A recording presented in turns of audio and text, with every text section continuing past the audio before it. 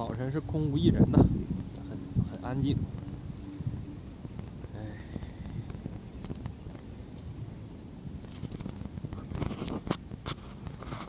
刚才呀，我在走这一段路上啊，没几个人儿，但是看着我的时候都行了注目礼，很喜欢这种被注目的感觉。然后呢，这个大概就是估计亚洲人很少。这个这个地方就是跟我第一年去布达佩斯似的。布达佩斯那么国际化的一个城市，我第一年去的时候都没有几个中国人，现在呼呼的。这面好一点，啊，中国人很少。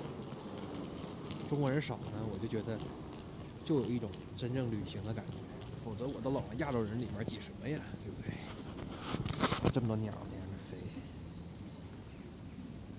鸟，起真早，早起的鸟儿有食吃啊。